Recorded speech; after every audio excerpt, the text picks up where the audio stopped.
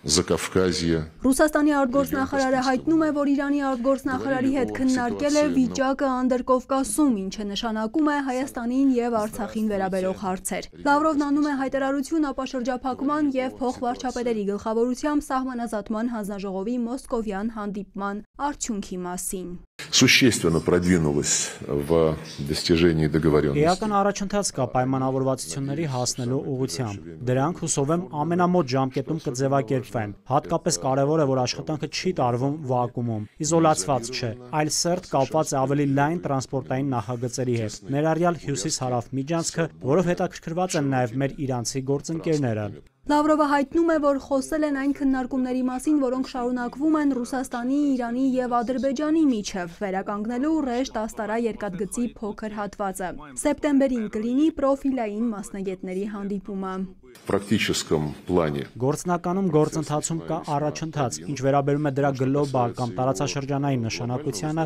այն ներառում է լոգիստիկ շղթաների վերականգնումը, որոնք կլինեն անկախ գործընկերների շահերի նկատմամբ անպարկեշտ վերաբերմունք ցուցաբերող երկրներից։ Հայաստանի մասին հայտարարություն է անում նաև Իրանի արտգործնախարարը։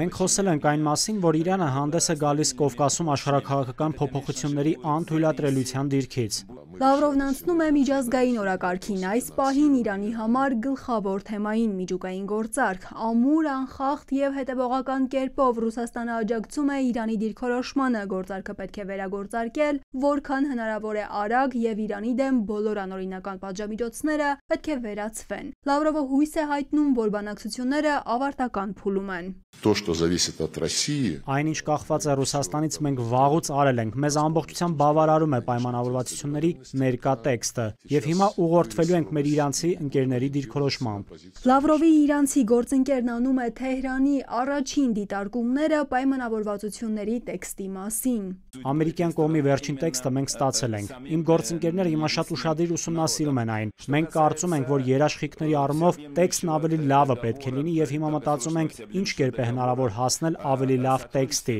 եւ ստանալ ավելի ծանրակշիռ երաշխիքներ։ Իրանի արտգործնախարարն էլ խոսում է Մոսկվայի համար ամենազգայուն թեմայի մասին։ Աբդոլլահյանը հայտնում է, որ Լավրովին փոխանցել է եվրոպացի առաջնորդներից մեկի ուղերձ խնդրանքը Ուկրաինայի մասով։ Լավրովը արձանագրում է. «Փաստորեն հիմա Եվրամիությունը Մոսկվային ուղերձներ է փոխանցում Իրանի միջոցով»։ Եվ Ռուսաստանի արտգործնախարարը շեշտում է. Ռուսաստանը եւ Իրանը միասին կպայքարեն արևմուտքի դիկտատի դեմ։ Անի Ավետյան, ժամը լրատվական։